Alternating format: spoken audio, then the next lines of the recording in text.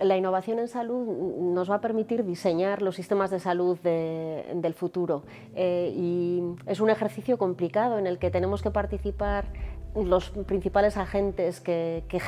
generamos la, la innovación. Y eso somos por una parte los profesionales asistenciales que mm, desde el Instituto Biodonostia representamos de algún modo en estas jornadas. Eh, están también los pacientes y los propios usuarios de los sistemas de salud, están los centros tecnológicos y están las empresas. Solo de la relación de estos tres agentes con un apoyo institucional firme podremos ser capaces de avanzar en esta innovación que, como digo, modificará nuestro modo de entender los, los sistemas de salud y la atención que prestamos a los pacientes. Estas jornadas eh, no hacen más que reflejar esta realidad y han sido una ocasión maravillosa de,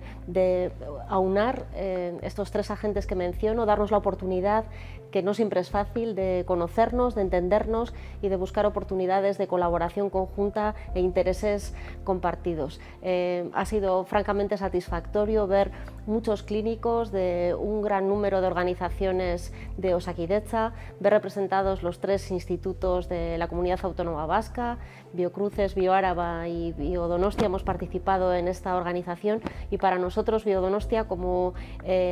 uno de los nodos de la zona norte de ITEMAS que aúna a estos institutos que he mencionado, además de otros institutos vecinos como Navarra, eh, La Rioja y Asturias, ha sido una enorme satisfacción poder colaborar con Tecnalia y con FENIN en la organización de estas jornadas que en mi opinión han sido francamente un éxito. Espero que veamos muchos frutos a partir de, ahora de esta oportunidad de trabajo conjunto que hemos propiciado.